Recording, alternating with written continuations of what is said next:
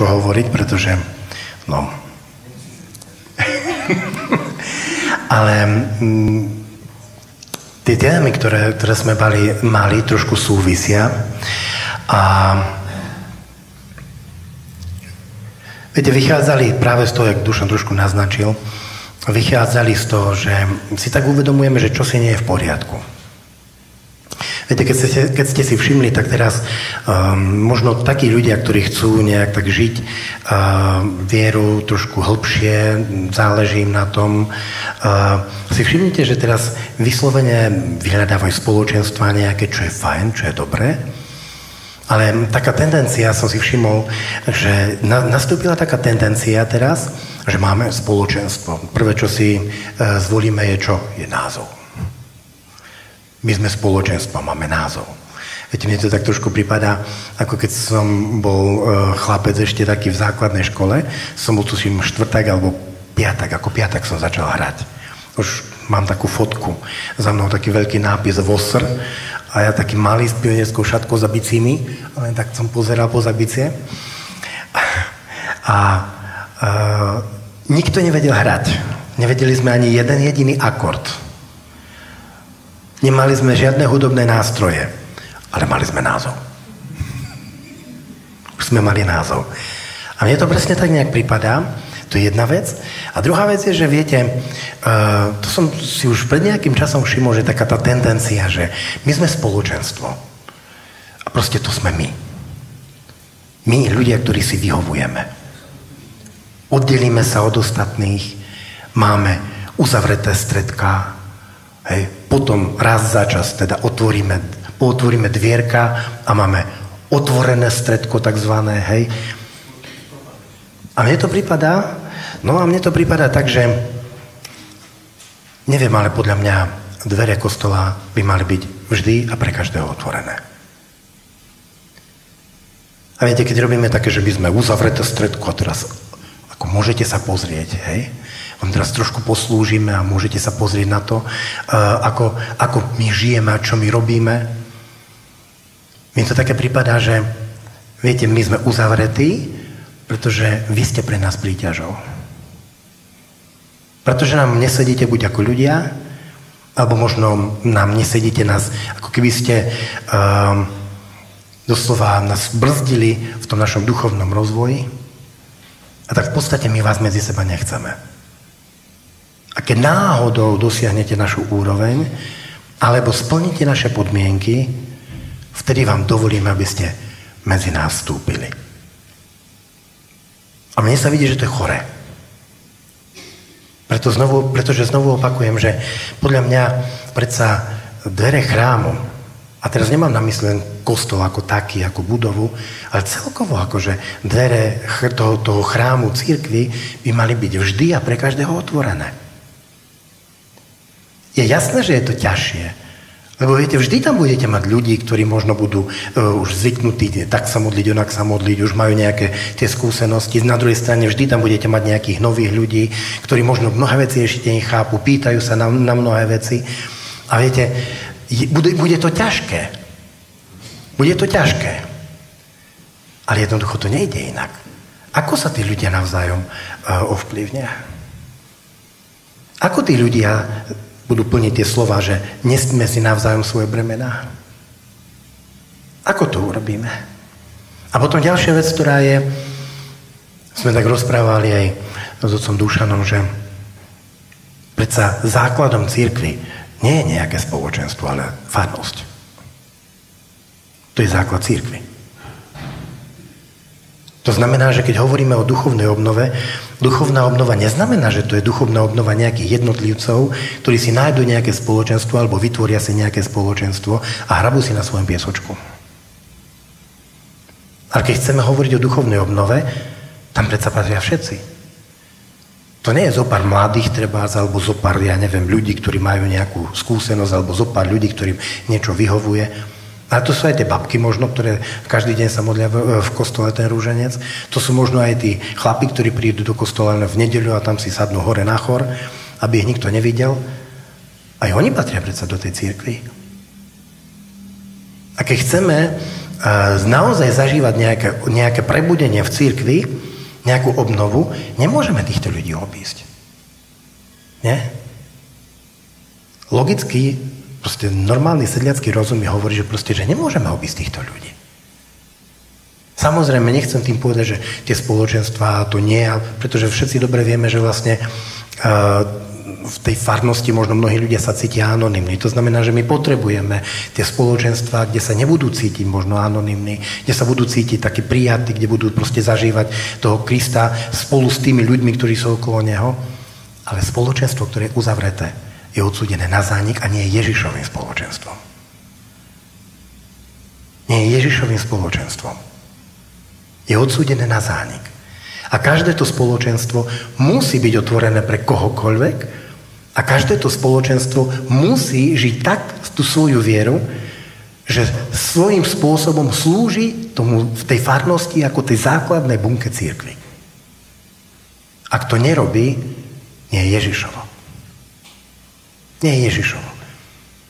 Potom to kde si sklzne vyslovene do takých vecí, ako spomínal otec Dušan, že, že proste to je také, prídeme, dobre sa cítime, uh, ako je, dobre nám to padne, keď sa porozprávame, dokonca je dobre nám padne, keď sa spolu pomodlíme, ale vlastne my nehľadáme živého Ježiša, lebo živý Ježiš by nás poslal niekde inde. My nehľadáme skutočného Krista, ktorý je reálny a ktorý nám bude vyčítať možno náš spôsob života, ktorý nám možno bude vyčítať naše, naše hriešne myslenie a ja neviem čo všetko. My hľadáme obyčajné, doslova to tak poviem, niekedy také obyčajné ľudské poľutovanie, alebo obyčajne nejaké také citové vyžitie sa, alebo chvíľku nejakého príjemného pocitu a to nám stačí. Zabudáme na jednu vec, že ona nás to nebuduje. Ona nás to nebuduje toto. A toto nás priviedlo na tie, na tie témy, na ktoré hovoríme pri tomto seminári, pretože Viete, my veľakrát, uh, aj keď treba, keď sme začali s tými spoločenstvami, aj v tých spoločenstvách, alebo ako jednotlivci, my veľakrát chceme robiť niečo pre Ježiša. My veľakrát robíme niečo pre Ježiša. A niekedy to vyzerá tak, že my sa udrieme pre Ježiša a figa borová z toho. Nejaký výsledok. Nikto sa neobracia. Nič sa nedeje. A viete, ja som prednedávnom, som sa tak modlil hore v kaponke a som sa tiež, tak tiež pýtal Boha, ako pane, mne sa zdá, že táto farnosť proste stojí. Ako je tu niečo zlé? Robím niečo zlé? Alebo prečo, prečo vždy, čokoľvek robíme, sa týka len hrstky ľudí a tí ostatní ľudia zadubení ako by nepotrebovali nič. Robím niečo zlé, alebo mám to robiť inak? A viete, čítal som si, otvoril som si, ne, otvoril, nalistoval som si na tablete, v tablete, som si nalistoval uh, druhú knihu Samuelovu, 7. kapitolu. A proste, keď som si to prečítal, tak ma to úplne zobralo. Počúvajte. Kráľ teda býval vo svojom dome a pán mu poprial pokoj od všetkých okolitých nepriateľov. Tu povedal kráľ prorokovi Nátanovi. Pozri, ja bývam v cedrovom dome a Božia archa býva v koženom stane. Nátam povedal kráľovi, chyť sa a rob všetko, čo zamýšľaš, lebo pán je s tebou. Ale v tú noc pán oslovil Nátana. Choď a povedz môjmu sluhovi Dávidovi, toto hovorí pán. Ty mi chceš postaviť dom, v ktorom mám bývať? Veď som nebýval v dome od dňa, čo som vyviedol synov Izraela z Egypta až po dnešný deň, ale putoval som v šiatrovom obydlí. Vary som za celý čas, čo som putoval so všetkými synmi Izraela, slovíčkom povedal niektorému sudcovi, ktorému som prikázal viesť môj ľud Izrael, prečo mi pos- ne- nepostavíte cédrový dom? Teraz však toto povedz môjmu sluhovi Dávidovi. Toto hovorí pán zástupov. Ja som ťa vzal z pastviny spoza oviec, aby si sa stal kniežaťom nad mojim ľudom, nad Izraelom. Bol som s tebou, kde si len išiel. Vyhubil som pred tebou všetkých nepriateľov a urobil som ti veľké meno, aké majú tí najväčší na zemi. Chcem svojmu ľudu Izraelu určiť miesto a zasadiť ho tam. Tam bude bývať a už sa nebude triasť. Ani zlosinovia ho už nebudú utláčať ako prv. Aj odo mňa, čo som ustanovil, od, od dňa, čo som ustanovil sudcov nad svojim ľudom Izraelom. Chcem ti dopriať pokoja od všetkých nepriateľov. A pán ti oznamuje, že pán postaví dom tebe.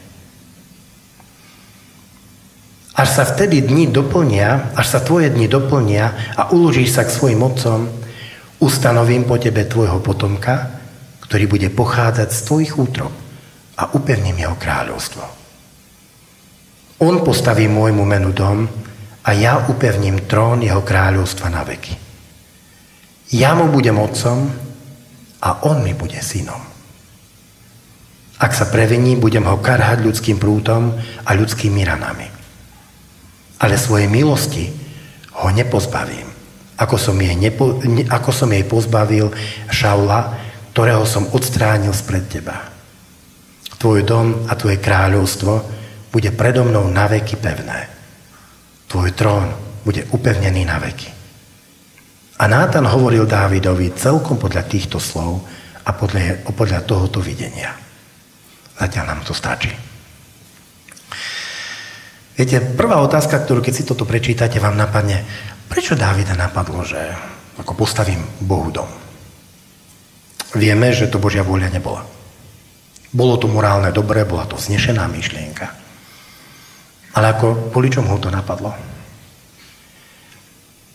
Viete, krásne začína to stať. Kráľ teda býval vo svojom dome a pán mu poprial pokoj od všetkých okolitých nepriateľov. Klídek. Pijánko. Kapitolu predtým máte priviesť, priniesli archu do Jeruzalema. Viete, tam máte tu stať. David unesený tancuje pred archou. Hej, všetci sú hotoví z neho. Proste veľké, veľké show, veľké divadlo, veľké uctievanie. Boha hostina, rozdával tam koláče, hostina, hej.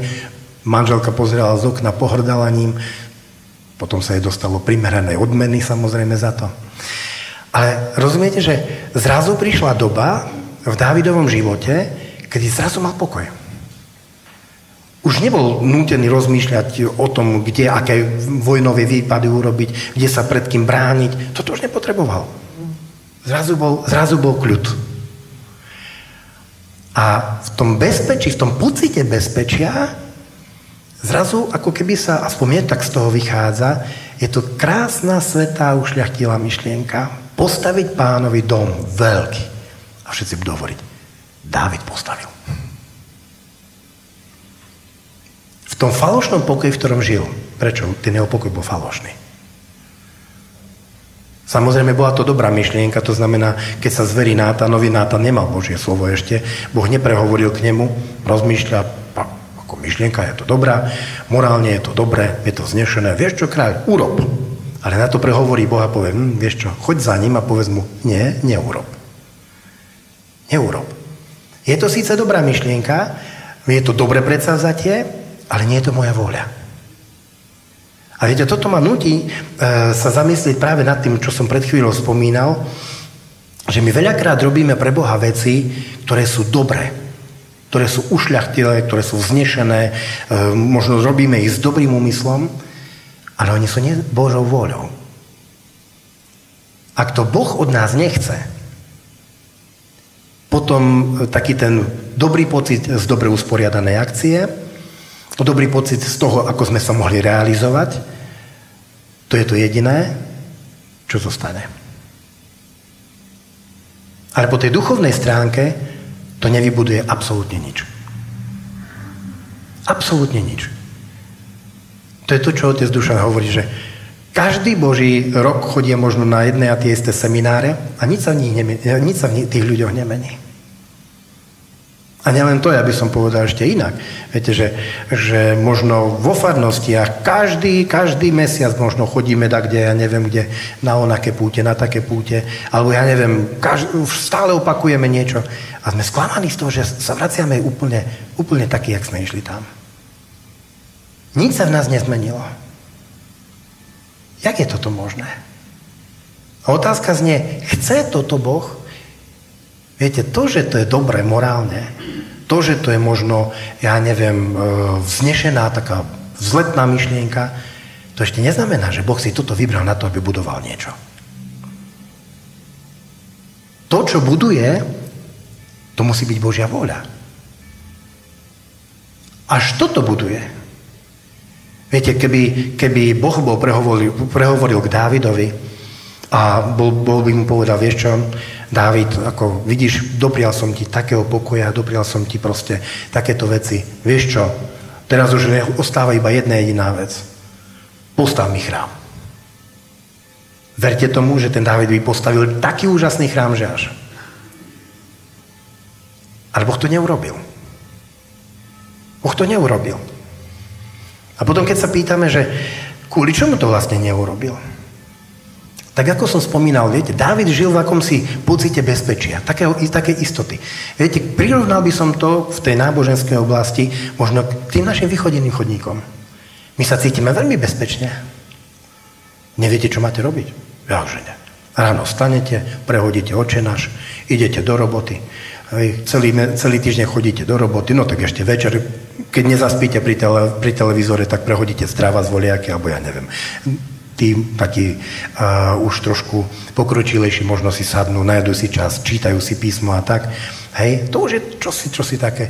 Ale normálny bežný kresťan ráno čo prehodí, prehodí, večer čo prehodí, v nedeľu ide do kostola, nahodí na seba, hej, ráno vstane, oblečie zbožného katolíka, ide uh, do kostola, otrpí si tam hodinu, pozera na hodinky, chvála Bohu, ide domov. Máme Pána Boha vybaveného. Vie presne, čo má robiť. On to má to, on sa to naučil. A on sa v tomto svojom systéme nejako cíti veľmi bezpečný. Otázka znie, či, či ho to buduje. Keby ho to budovalo, museli by sme z toho kostola v nedelu odchádzať úplne iný, ako sme tam prichádzali. To je to, o čom hovoril včera um, otec Janko, grécko-katolický pán Farar. Proste museli by sme z toho chrámu vychádzať úplne iný, než do neho vstupujeme. Ak odchádzame starí, to znamená, my robíme voľačo pre Pána Boha. Z toho nášho falošného pocitu bezpečia. Ale nebuduje to ani nás samých, nie to, že by to ešte budovalo nejakú církev a nejakú farnosť. To je tá tragédia. Viete, to je tá tragédia. V prípade Dávida to bolo veľmi jasné, pán Boh mu to veľmi rýchlo ukázal. Pán Boh ho stopol. Nechcem, aby si mi stával dom. Viete, on tam nádherne tak hovorí uh, o tom, že uh, ja som kázal nejakému sudcovi, že postav mi chrám. Praví, odkedy izraelský národ som vyviedol z Egypta, bývam v stane. A on to nie je akože uh, len taká uh, myšlienka alebo taká poznámočka, ktorú možno len tak obísť. Pretože Kedy človek stavia chrám, ktorý proste je kostol, staviate ho možno, ja neviem, 40 rokov, tak ako stavali e, izraelský chrám, proste, teda jeruzalemský chrám, proste kedy to postavíte? No vtedy, keď už máte pocit, že toto je naše miesto, tu sme doma, tu odtiaľ sa už nepohneme. Tu už budeme. Tu už dožijeme. A vtedy sa oplatí investovať do toho, lebo máte pocit, že viete, ten chrám je, je, je taký, taký symbol tej istoty, ktorú človek vo vnútri má. Ale Izrael ešte nebol takto usadený. Darmo, že mal kráľa, darmo, že kráľ mal cedrový dom. Lebo hovorí, ja som tam, kde je môj národ. A môj národ ešte stále putuje. Aj keď už vstúpil do zasľubenej zeme. Aj keď už prešla e, doba sudcov. Aj keď nastúpila doba kráľov, oni už majú panovníka, ktorého silou mocou chceli a ktorého im Boh nechcel veľmi dať. A potom povedal, no dobre, nechaj ich, nechaj ich, keď sa Samuel zdráhal. Nechaj ich, však oni uvidia, čo, čo si u mňa vymohli. To znamená, už nastúpila taká doba, kde oni čo očakávali, že už príde istota. Že budú mať človeka, ktorý im veľmi jasne povie, toto robte, toto robte, toto robte, toto nerobte, toto nerobte, budú mať jasno v živote. A zrazu vidíme, že ani samotný kráľ nemal v tom jasno, pretože hneď za tým asi dve kapitoly neskôršie, za tým, čo sme čítali, nastupuje, viete, ako stať, ktorá začína tak nádherne, že v čase, keď sa chystali, keď išli králi, keď tiahli králi do boja, Dávid lebedil hore na, na e, streche svojho paláca a proste šmíroval baby, ktoré sa tam kúpali. Namiesto toho, aby bol stál na čele svojho vojska, tam poslal svojho veliteľa, svojho generála. A on proste v tom pocite bezpečia, že toto už ja nepotrebujem také tam, to už ako mám na to ľudí, ktorí to vybavia a ako ja si tu môžem užívať ten svoj zaslúžený odpočinok, ten svoj kľud a ten svoj pokoj. A zrazu prišiel prvý pád, to bola Betsabe, zrazu hneď na to prišla Tamar s Amnonom, kde, kde vlastný, teda uh, nevlastný brat znásilnil nevlastnú sestru, na to hneď naviazal Absolom, ktorý sa stal bratovrahom kvôli tomu, vzbúra Absolonova a kráľ, ktorý sa cítil tak bezpečný, kráľ, ktorý proste akože chcel postaviť chrám ako symbol toho, to, to, to, tej svojej istoty pomyselnej, Zrazu musí baliť kufre a musí utekať pred vlastným synom. Oni tam, viete, pricupkajú s tou archou e, títo e, kňazi a, a e, levíti pricupkajú tam s archou, že pane, ideme. On hovorí, viete čo, tú archu nechajte tu. Zrazu začal chápať, jak sa mýlil. Hovorí, archo, nechajte tu. Ak mi pán dopraje, vrátime sa sem. Ak nie, patrí sem. Viete, zrazu mu začína dochádzať. To znamená, že keď my chceme silou mocou niečo robiť pre Boha, tak to robíme z akéhosi falošného pocitu istoty. My nepotrebujeme po, e, potrebu, alebo nepociťujeme potrebu e, pýtať sa Boha, Pane, čo chceš, aby som robil? Čo je tvoja vôľa? Vyčerpávame sa vo vlastných predstavách. A viete, keď si pamätáte, keď potom budeme pokračovať ďalej, tak vlastne odpovedou na to všetko, odpovedou na, na, to, na, to, na tie potreby toho, toho ľudu a, a na to, čo vlastne Boh prislúbil Dávidovi, nie je to, že ja ti, lebo keď hovoríme o pokoji, hovorí, o, keď hovoríme o živote, keď hovoríme o tom dome, tak ten dom, ktorý stavia Boh, je symbolom toho ľudského života.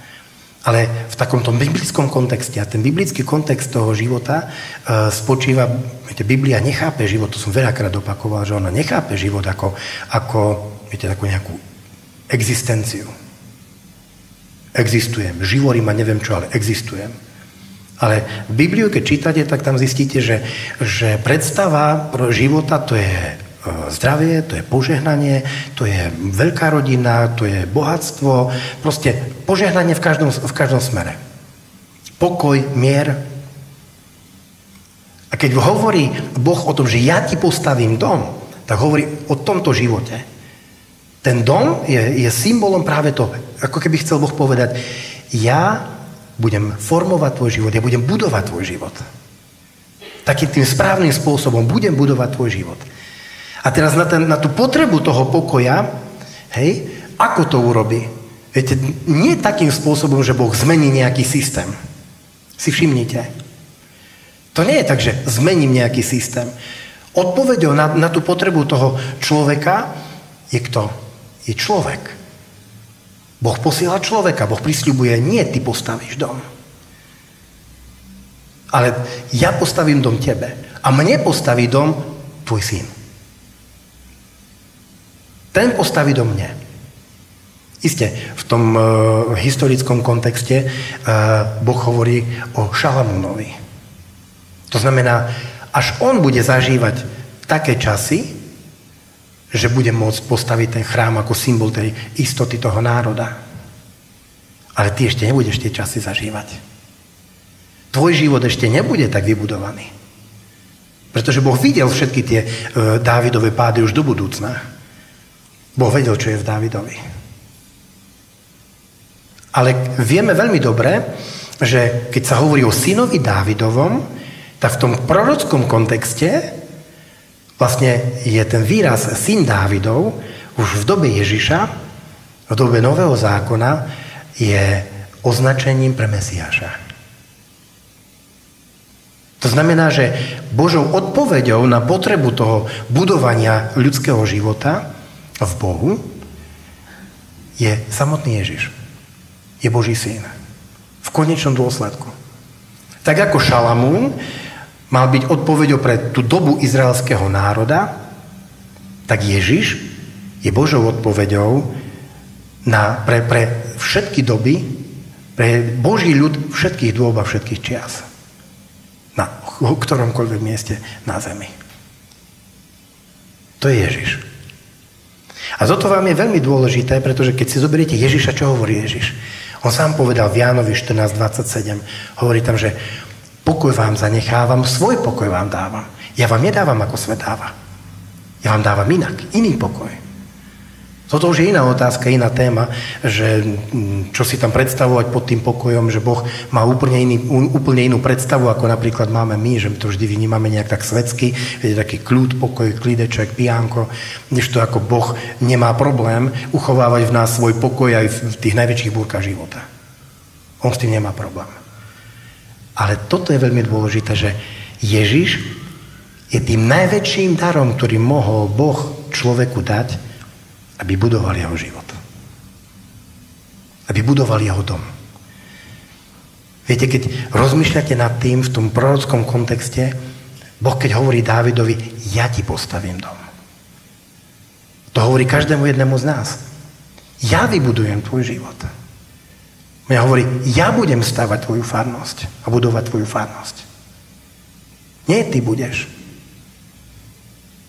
A toto je veľmi dôležitá záležitosť. Prečo? No lebo keď si zoberiete, máme Lukáša 18, 9 a 14, to je to podobenstvo o farizejovi a mýtnikovi, ako sa modlia.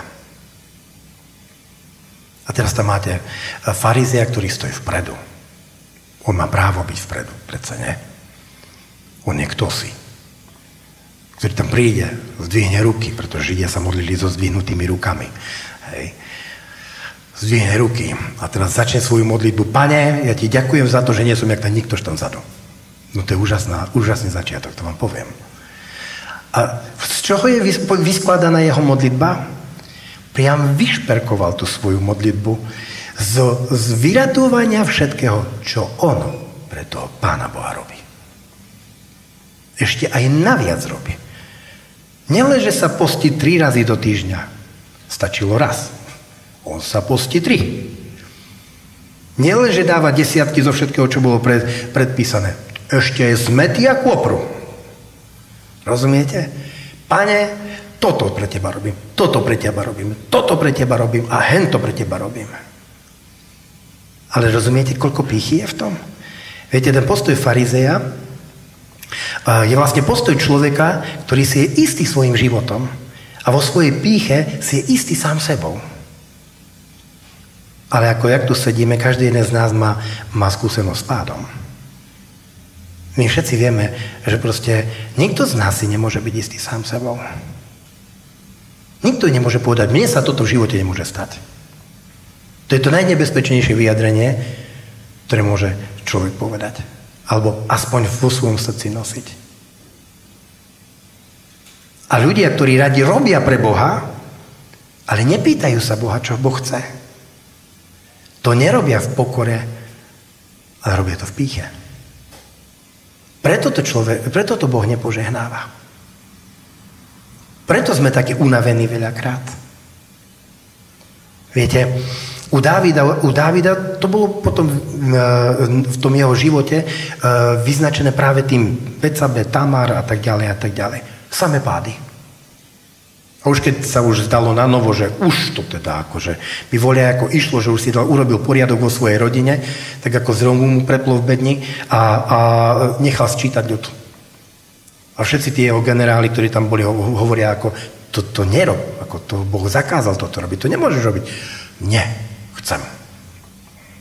A znovu len ďalší pád. Znovu len ďalší pád. Taká jedna maličkosť, ktorá je tam veľmi dôležitá, keď sme čítali, tak ste si mohli všimnúť, že je tam napísané, že chcem svojmu ľudu Izraelu určiť miesto, zasadiť ho tam. Tam bude bývať a už sa nebude, pri, nebude triasť, ani zlosinovia ho už nebudú utláčať ako prv. Aj od dňa, čo som ustanovil sudcov nad svojim ľudom Izraelom. Rozumiete? Hovorí Dávidovi o tom, že chce toto všetko, čo robí, to, že mu povie, že ako uh, teraz ne, nebudeš ty pre mňa budovať chrám, hej, nebudeš budovať ty mne dom, ale ja budem budovať dom tebe. V konečnom dôsledku to nie je služba len tomu Dávidovi, tomu človeku ako takému, ale cez neho Boh chce budovať svoj národ. To znamená, že ak nas, načúvame Bohu, ak načúvame Bohu a, a robíme to, čo Boh od nás chce, budujeme svoj život, alebo chce z náš život, buduje aj naše spoločenstvo, našu farnosť, církev.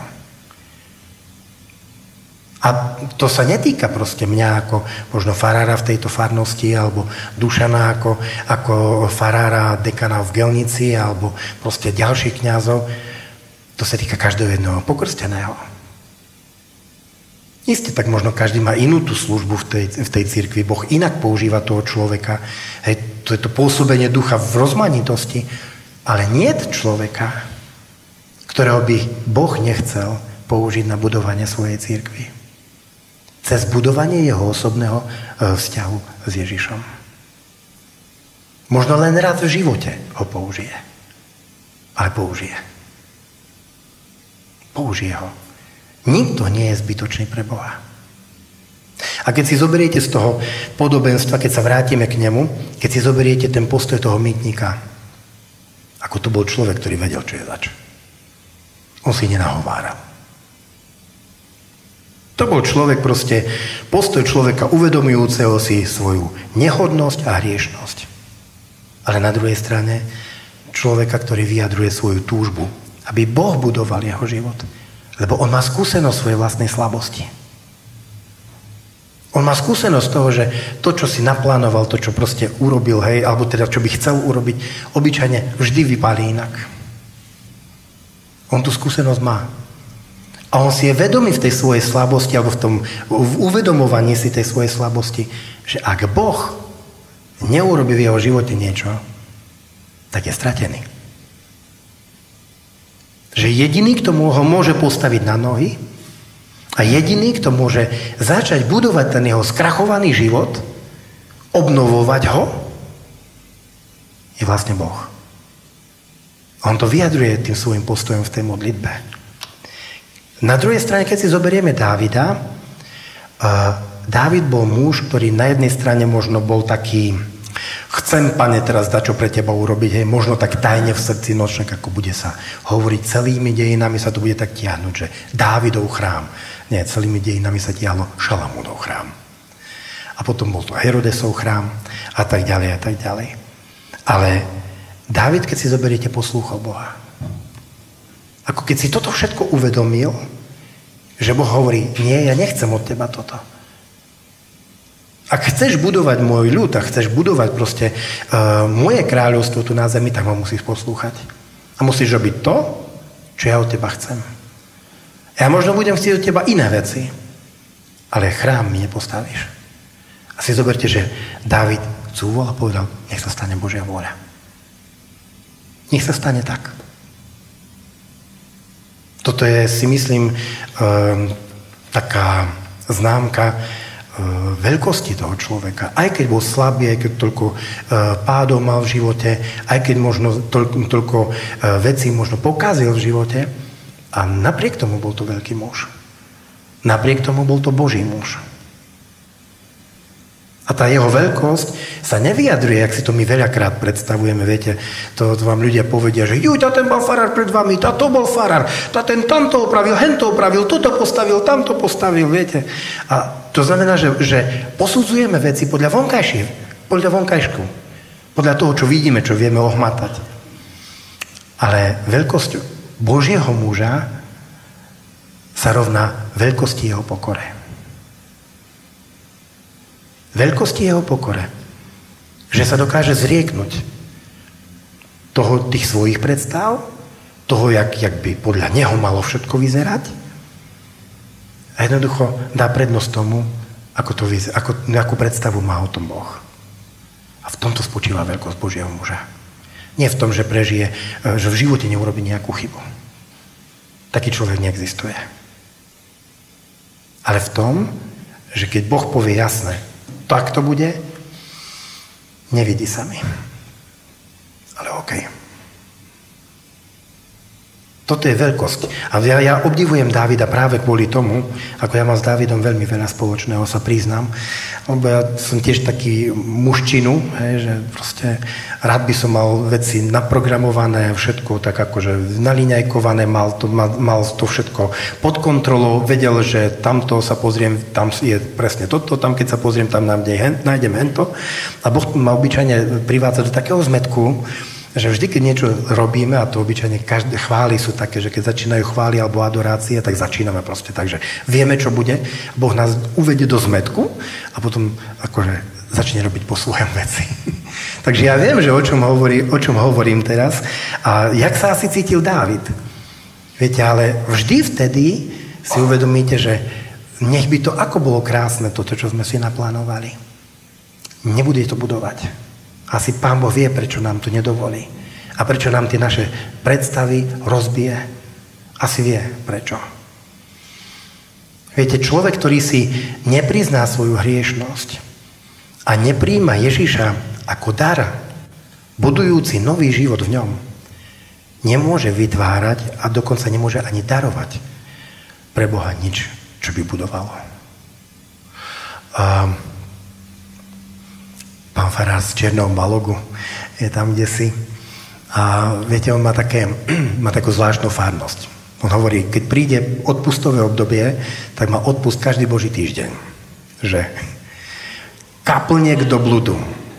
Neexistuje taká pána Mária, alebo taký titul pani Márie, ktorý by nemal kaplnku v čiernom balogu. Neexistuje niečo také. Teraz je otázne, samozrejme v praxi to vyzerá asi tak, že ja som sa rozhodol, že z vďačnosti postavím kaponku. On, viete, nejaký zbožný človek, áno, zbožný človek sa proste rozhodne, že z vďačnosti postaví kaponku. On ju postaví a pán Farár má s ňou starosti potom celý čas, hej? A všetky jeho nástup, všetci jeho nástupcovia nemajú nič iné, len proste starosti s tým zorganizovaním a s opravami a neviem s čím všetkým. Rozumiete? Lebo, ale takto vyzerajú veci, ktoré jednoducho robíme bez toho, aby sme sa Boha pýtali. Vždy nám prinášajú ako keby, ako keby záťaž do toho života.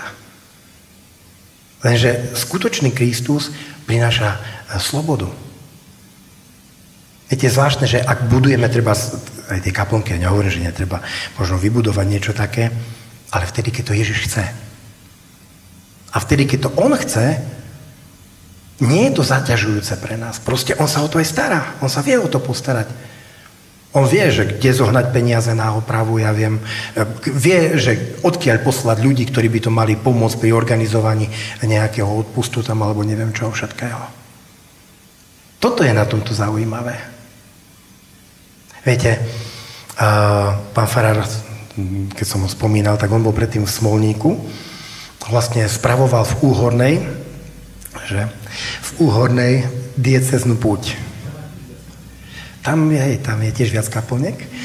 Ale tam je napríklad vidno, že ktoré kaplnky možno boli postavené, keď už sme sa zapustili do tých kaplniek, to nebola pôvodne moja téma, ale tam je vidno, že ktoré sú na príťaž a napríklad na Úhornej je odpust, kde tam skutočne už je len hrstka ľudí.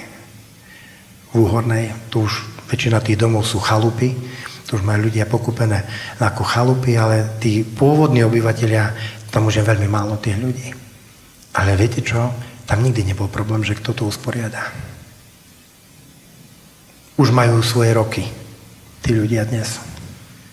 Ale nikdy nepovedali, že proste my neideme a prečo my a nájdete si druhého. Nikdy. Dokonca si pamätám doby, kedy to ešte bolo za socializmu, tam bol Páter Hlavatý, že? Bol e, minorita.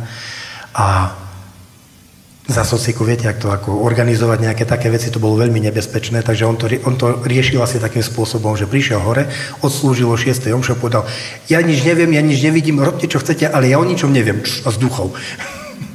A fungovalo to, on, on sa nezaujíma, že kto čo zorganizuje, fungovalo to.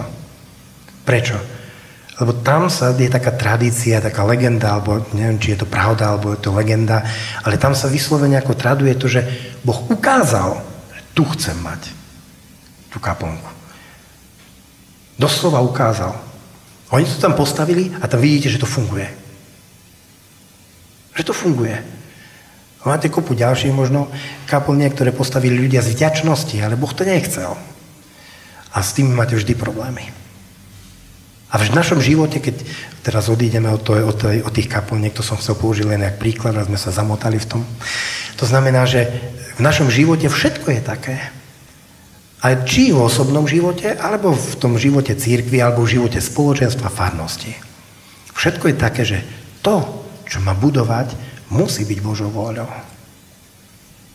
Musí byť Božou vôľou. A na druhej strane, keď sa vrátime späť, človek, ktorý príjma Ježiša ako odpoveď na svoju hriešnosť a slabosť, necháva Boha budovať jeho osobný dom v úvodzovkách, ten svoj osobný život a skrze neho môže budovať aj ten dom, život svojho ľudu. Viete, toto potrebuje Boh od nás. Taká provokačná e, e, veta. Boh potrebuje pokorných hriešníkov a nie pyšných, sebaistých, šikovných farizejov. Viete, zrazu v tom kontexte tých vecí, o ktorých sme hovorili, zrazu v tom kontexte sa vám začnú, e, začne vynárať také chápanie možno také, takých slov písma, že prečo je tam napísané, že to, čo sa svetu zdalo nehodné, hej, to a slabé, toto si Boh vyvolil. Prečo? Viete, mm, pred nejakým časom som tak pochopil, že asi kvôli čomu to Boh robí. Keď, keď ma tu dali, keď som sem prišiel, a viete, som sa tak modlil, že Páne Bože, vieš čo, prosím ťa, pošli mi nejakých muzikantov. Viete, ako keď som bol v Poltári, to som mal tam Mariku, kde je Marika? Mal som tam Mariku, dáma, ktorá skončila Akadémiu umení, mal som tam kantorky, ktoré proste boli konzervatoristky, mal som tam muzikantov, ktorí boli absolventami z úšky, minimálne teda. Hej, mal som tam šikovných muzikantov, kde proste stačilo povedať, to sa išlo. Každý vedel čo a ako. Ale na druhej strane mal, e, boli to ľudia, ktorí proste túžili po Bohu. Čiže aj na duchovnej úrovni boli. Viete, ak prišiel som sem a som sa tak modlil, Bože, pošli mi nejakých muzikantov, a nič. A Bože, pošli mi nejaký muzikantov a nič. Hej. A potom sa mi uh, birmovanci, ktorých som zdedil a ktorým som sa začal venovať, boli takým bojovým, podmien- uh, bojovým dôvodom, uh, tak akože, no takže, tak oni sa na to dajú, no že teda oni by dačo. Som sa tak vadil s Bohom, Pane Bože, som prosil o muzikantov, nie o deti. Viete, si pamätám, že prišli, no to, že ideme dať čo skúsiť. Dobre, tak som im tam pozapájal nejaké tie veci a tých harabord mám strašne veľa, som im to tam pozapájal a teraz zrazu počúvať jedno vrzga, och, hrozné. Druhé, chlapec, ktorý zo zušky, on nevie, že Kubo, on nevie, že akordy majú aj svoje obraty. že to nemusí hrať len C, E, G, ale že môže hrať kľudne aj E, G, C, aj G, C, E. Hej. Proste nepoznal akordové obraty, si pamätám, to som povedal, vieš čo, choď do zušky a pýtaj si, nech ti vrátia e, školné, pretože te nič nenaučili. Rozumiete, ako hrozné. Hrozné. Som sa tak vadil s Bohom v tom čase. Reku, ako zbav ma hudobného sluchu. Nech nič nepočujem. Nech tak netrpím. A pred nejakým časom som si tak uvedomil jednu vec, že prečo to bolo. Viete, tá farnosť potrebovala novú krv. Potrebovala nového ducha. Ono tu nejde o to, že nejaký ten muzikánsky kumšt. Viete, ako to si najmete muzikantov a proste tí vám zahrajú tip-top, eňoňoňo. Ale ak máte ducha, tak vnímate, či hrajú v duchu, alebo proste hrajú len, len, len čisto svetsky to vnímate. A vlastne táto farnosť potrebovala no, no, ako ľudí s, no, s novým nadšením a s novým duchom. A to som si vtedy neuvedomoval. až, viete, keď ste v takomto nejakom permanentnom procese, tak to vždy riešite taký problém s nimi, onaký problém. Hej, tu daj jedno za ucho, lebo toto robia. Chodíte za nimi zhasínať, jak môj otec za mnou, keď chodil. Zhasínal svetlo. Hej, mňa to vždy rozčuľovalo. Upratujem, zhájam, nadávame, že sú bordelária. Viete, to ste v jednom kolobehu. Až e, mali sme nedávno, e, robili sme taký kurz, že objav Krista sa to volalo. A ono, ten kurz skončil vlastne tým, že bol, bol taký záverečný večer modlitieb a ja sa tak si sadol dozadu a nechal som ich proste, nech si to robia sami. A teraz kapela hrala, ja som tak vzadu sedel, decka sa tu, no, decka, mládež sa tu modlila a Boh mi zrazu začal tak ukazovať. Viete, som pozeral na tie deti a som si zrazu začal uvedomovať, že chápeš ten rozdiel, aký boli vtedy aký sú teraz? Viete, ako Aďa, ktorá hrala flautu v vzduchotechnike, teda v dychovke, hej. Nevedela, klavír proste bol pre ňu veľká neznáma. Gitaristi, ktorí jeden hraje dva roky, či Maťko, koľko hraješ? Dva roky? Rok? Peťo hraje tri roky? Tak nejak, hej. Dovtedy nemali ani šajnu, nevedeli, že gitara má 6 strún. Rozumiete? A zrazu pozeráte na nich a uh, Dominika, ktorá keď chytila husle do, do ruky, určite nemajú doma myši. Proste nemá problém hrať. Kubo, ktorý keď dnes minule som tak pozeral na ne, jak to hraje? Řekl, jak to robí? Nemá problém sadnúť za veľký orgán, proste odhraje. Liturgia je jedna radosť. A vravím, a čo sa týka Hemondu, tak ja tak zazriem, jak to, jak to robí, že má taký, že mu lezie z toho taký zvuk. A som si tak uvedomil jednu vec, že prečo to Boh urobil? Viete, že on, on nepotrebuje šikovných a proste neviem akých, hej, už, už na úrovni a teraz si ich zoberie, no tak ako, poď, poď robiť niečo pre mňa. On proste potreboval tie decká, aby tak, ako sa budú tón po tóne učiť, aby rástli aj na duchu a vyrástli na duchu. Viete, a zrazu si uvedomíte, že oni robia. Oni sú tí, ktorí oslovujú. A som si uvedomil, že proste to bol zázrak, že za tak krátku dobu sú oni dokázali naučiť hrať, dokázali sa zohrať, dokázali proste ch- začať chápať akože to, o čom hrajú a prečo hrajú. A v podstate od nich som v Brezne už takých birmovancov nemal. A som si uvedomil, že to bola odpoveď na moju modlitbu. Že oni, presne tak ako, že Boh dáva človeka ako odpoveď na našu modlitbu. Nie je to, že mení systém, ale dáva človeka ako odpoveď. A toto som si začal uvedomovať, že proste Boh si vyvolí slabých. Hej? Slabých, nehodných, proste, ktorí sa, ľudia tohoto sveta na nich pozrú, pokrutia hlavou. Teda, tí majú seba vedomia, hej, že, že vôbec sa do niečoho takého pustia. A predsa si ich Boh povolá. On nemá problém s ním urobiť muzikantov, ale pritom ako rastú, ako a po tej, po tej možno takej profesnej stránke, vlastne ich učí vnímať seba samého, premieňa ich srdce. A doslova akože robí z nich učeníkov. Ako som veľmi vďačný Pánu Bohu za to. Vyvadil som sa s ním, to je pravda. Oplatilo sa. Oplatilo sa. Preto to Boh takto robí. Viete, keď sa vrátime naspäť tým spoločenstvám, radi mnohé spoločenstva robia veci pre Boha. Otázka znie, chce Boh toto? Ja si myslím, že vždy treba pozerať na ovocie, lebo Božie veci prinášajú ovocie. Prinášajú ovocie. Veci, ktoré neprinášajú ovocie, prinášajú možno dobrý pocit nám samým. Ale to je málo. To je veľmi málo. My musíme sa naučiť nechať Boha, aby budoval ten náš chrám. Aby budoval náš dom, ten náš život. A nechcem tu povedať v takom tom pasívnom e, slova zmysle, že teraz si sadnem, budem, budem sedieť, no tak, Pane Bože, rob, rob, nie?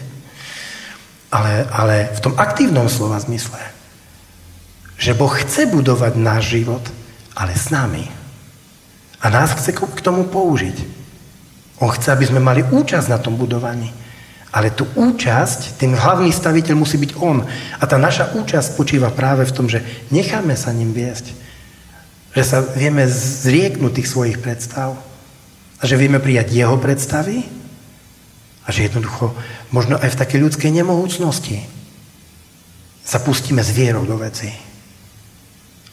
A on zrazu koná.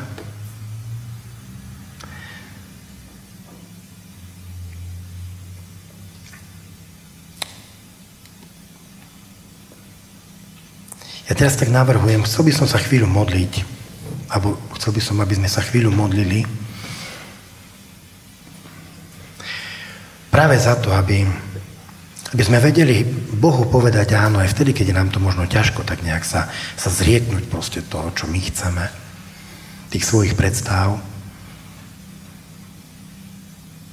Aby sme túžili vo svojom srdci, aby ten, kto je tým staviteľom nášho života, aby to bol Ježiš, aby sme to neboli my. Aby sme v živote nemuseli zažívať sklamanie sami zo seba. Aby sme nemuseli byť sklamaní z vlastných zlíhaní a z vlastnej slabosti. Ale naopak, aby sme v živote zažívali takéto Božie víťazstvo.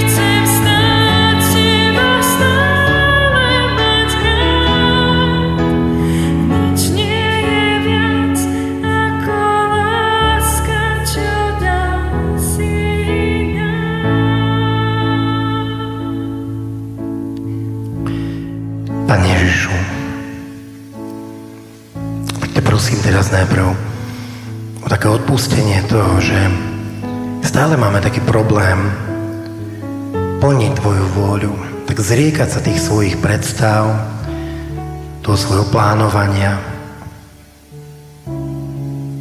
že má, nám tak zaťažko padne zrieknúť sa toho pocitu, že to máme v rukách, že to vieme zorganizovať. Odpust, Pane, že nevidíme veľkosť toho zriekania. Že stále je v nás ešte toľko pýchy. Že dáme prednosť tomu dobrému pocitu, takej istoty dobrého naplánovania.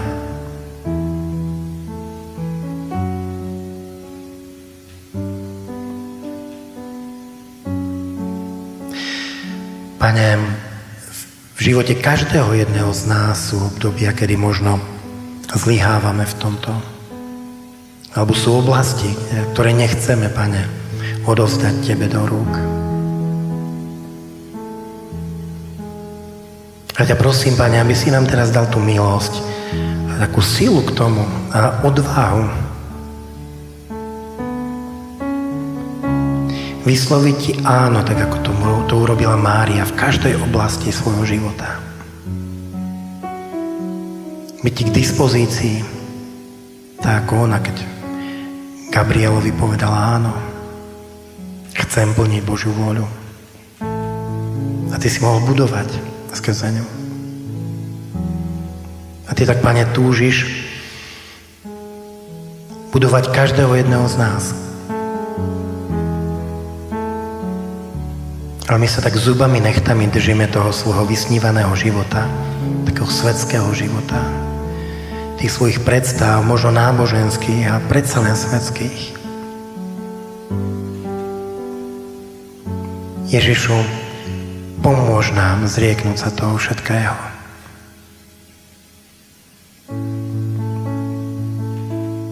Pomôž nám, Pane, stáť pred Tebou s takými prázdnymi rukami,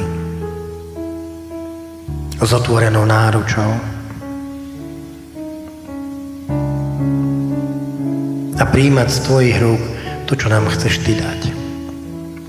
A s vierou, že toto je to najlepšie. Aj keď tomu možno v tej chvíli nerozumieme.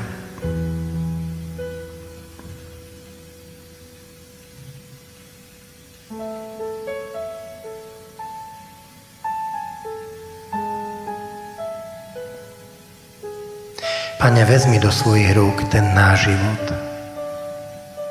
Ty buduj, Pane, náš dom. A skrze nás, Pane, buduj ten svoj dom. Církev.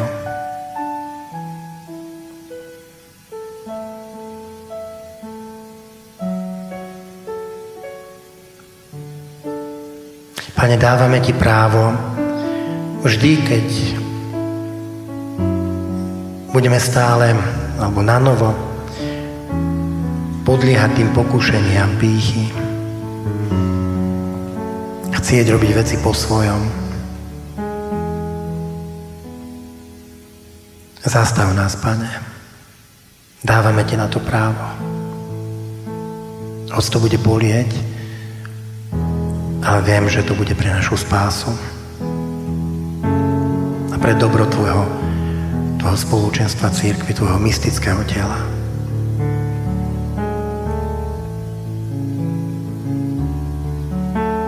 Duchu Svetý, rob nás takými pohotovými na Božie slovo.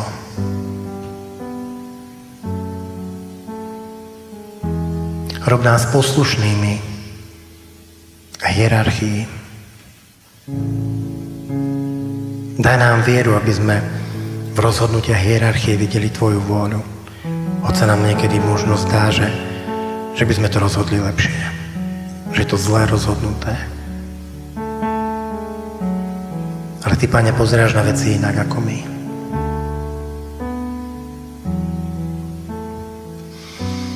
Daj, Pane, aby sme žili svoj život tak, aby si ho mohol Ty budovať.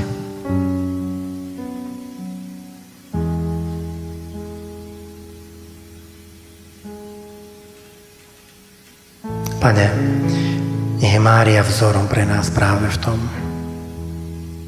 Takéto absolútne áno pre Božiu vôľu.